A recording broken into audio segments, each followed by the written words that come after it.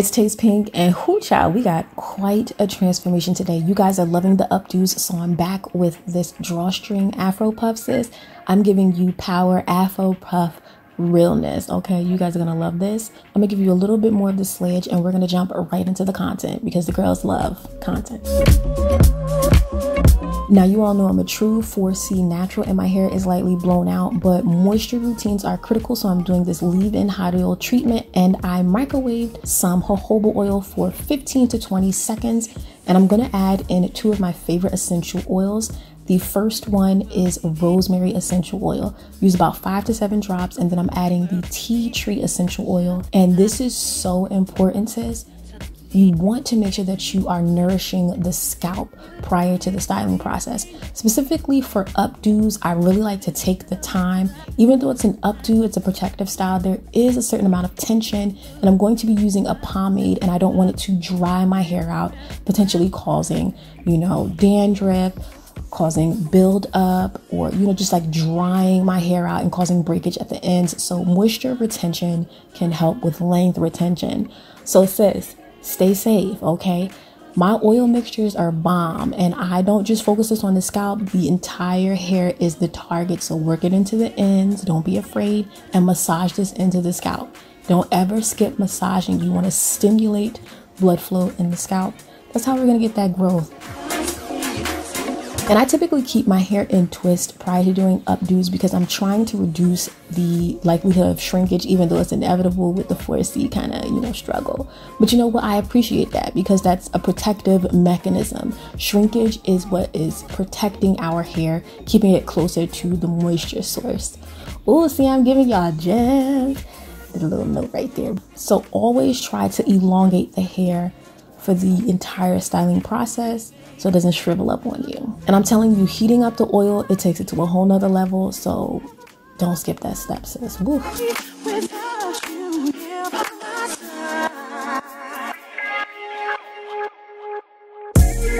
But can we talk about my length? Okay. Y'all sleep. I'm not. My hair is growing and I'm living for every part of it. now, Style Factor Edge Booster Pomade not the styling justice because that doesn't work for me. I'm just all, you know, just being real. I like to use this product but apply it in sections. So I part the hair and then apply the product. And that's one of the reasons why I made sure to emphasize moisturizing the hair and the scalp before applying this so it doesn't dry your hair out. I know some of you say that the pomade kind of creates a white residue, but moisture helps to reduce that white cast so definitely take the time to add that moisture.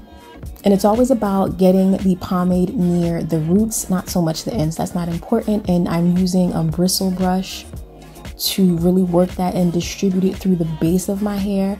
And my ponytail is going to be right at the position of my ears at the top of the crown. This is very important. I like my puffs, my ponytails to be at the highest point of my head. So my ears are like a great indicator of where I want it to be. So just make sure it's in line.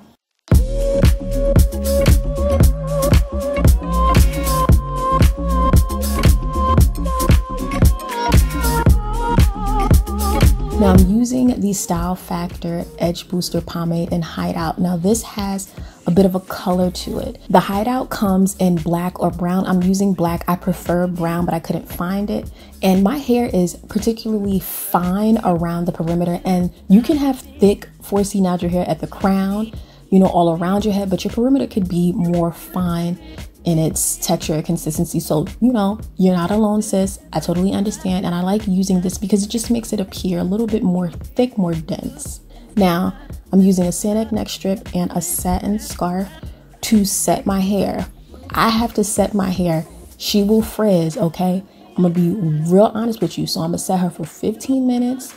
You know, then I like to twist down my puff. Now I'm not gonna braid it because this is not a style that I kept in very long. I had to get cute I had to go out and I did my thing and I came back, took it down. And that's what I like about these particular styles. You get ease, you know, of styling and it's beginner friendly. I got you, sis. Now I'm just touching up the perimeter, making sure it's super slick because I don't want to install the ponytail and then, you know, I end up with a bunch of frizz because then I'm going to be tight.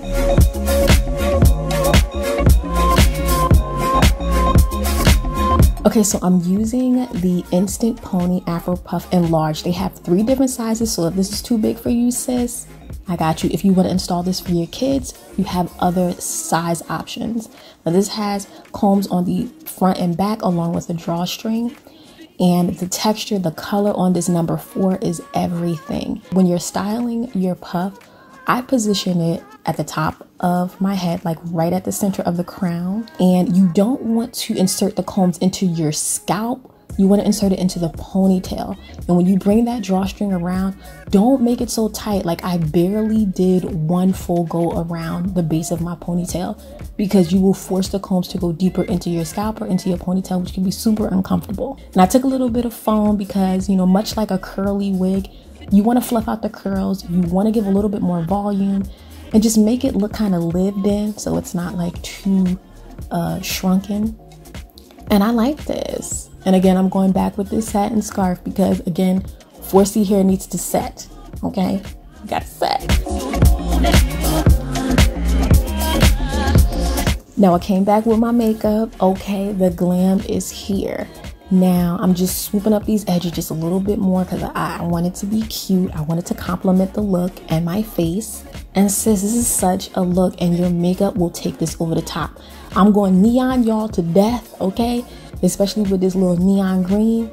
And um, I know you guys want more makeup tutorials. I heard you. So I think I'm going to come up with a little series where I show some makeup tips at the end of my video, like show like application of eyeshadow because y'all be bugging over the eyeshadow. What do you think, sis? Let me know in the comments. Be sure to subscribe. Let me know when you do. I'll give you a nice warm welcome.